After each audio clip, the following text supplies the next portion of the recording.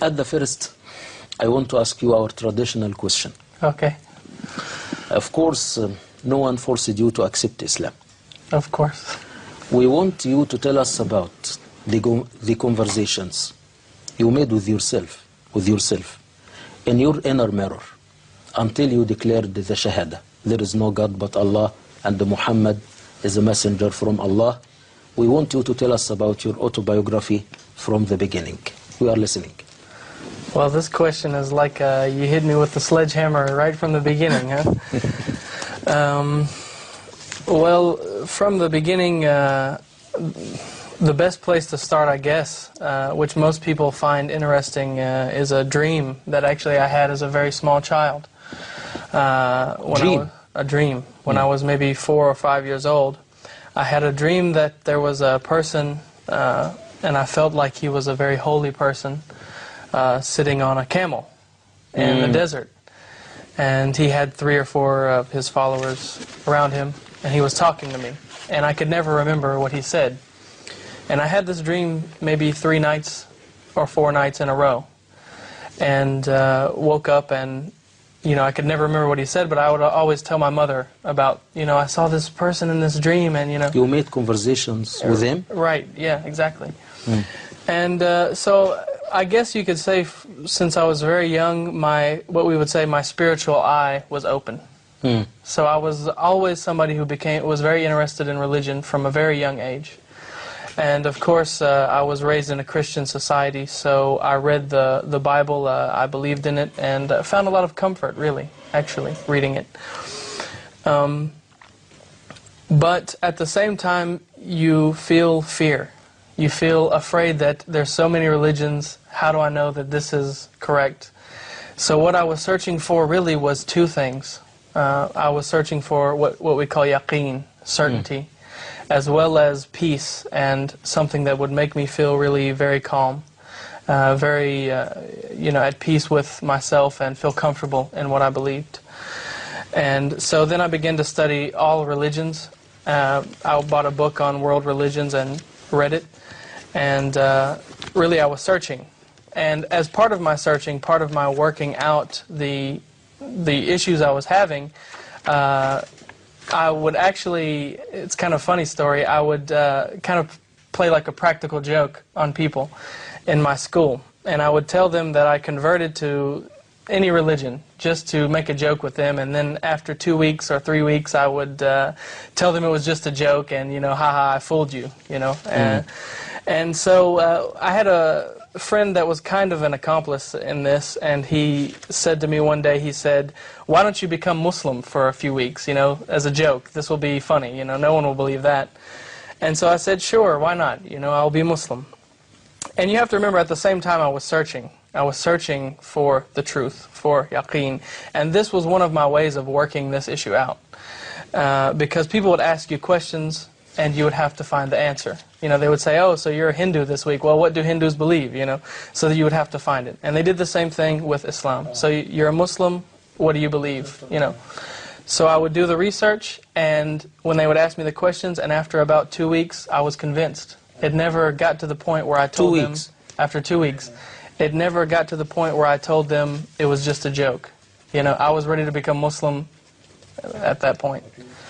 So, I want to ask you one more question. okay. In your opinion, what is the complete meaning of Islam? Well, it's not just one thing, really. It's not uh, one answer that I can give. It's something that uh, it starts with a simple belief that you find is very encompassing, actually. It uh, means a lot of things. For example, uh, it's not uncommon to hear of uh, any scholar who writes 20 pages just about Surat al-Ikhlas, you know, just four verses from Quran.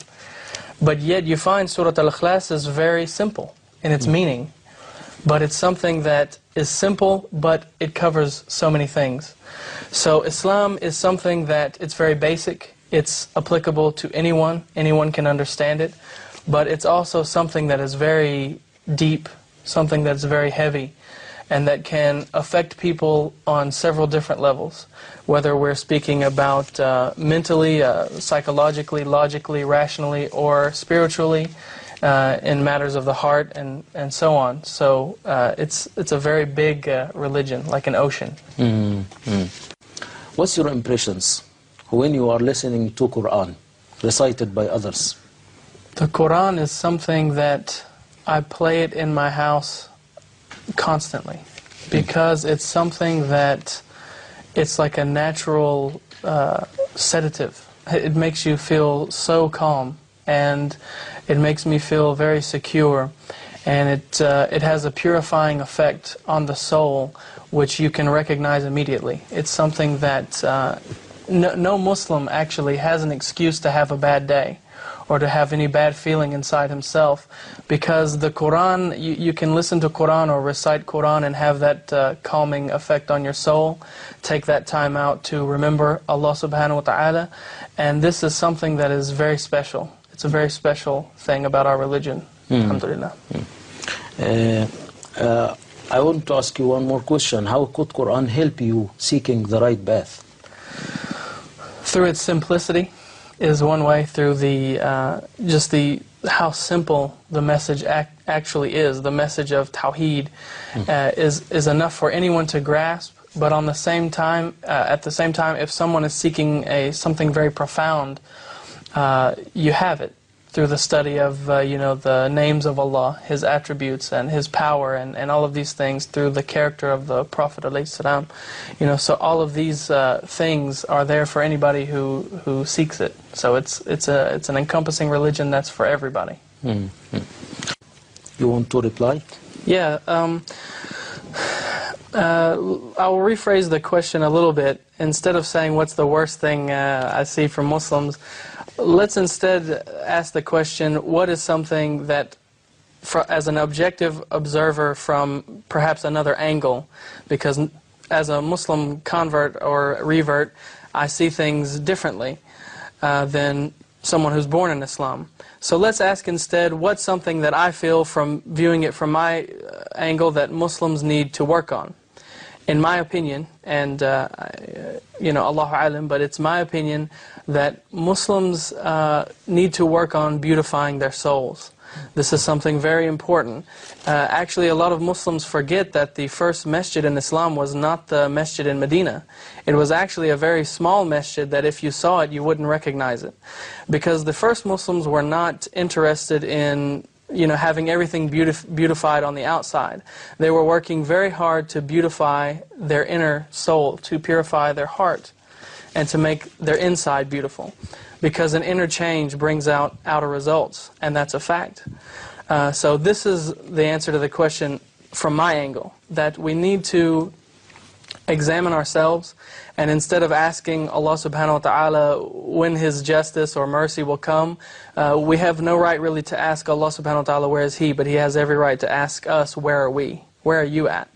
And this is something I've heard uh, many Muslim scholars ask, uh, and we need to pay attention to that question. Khairan. In one minute, uh, in your opinion, in what way you can serve Islam in the future?